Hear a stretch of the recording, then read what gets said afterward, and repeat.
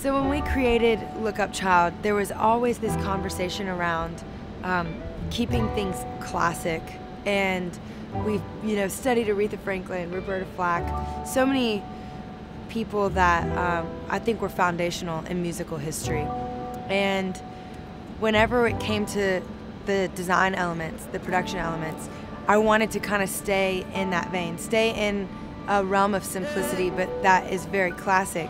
And the other day, someone came in and saw the rig, and they don't work with us. They don't really know my background, nothing like that. They don't know about Look Up Child, how it was designed. And they walked in, the first thing they said was, wow, that is a classic looking set. The set looks like it could have existed as far as the shapes and things like that years ago.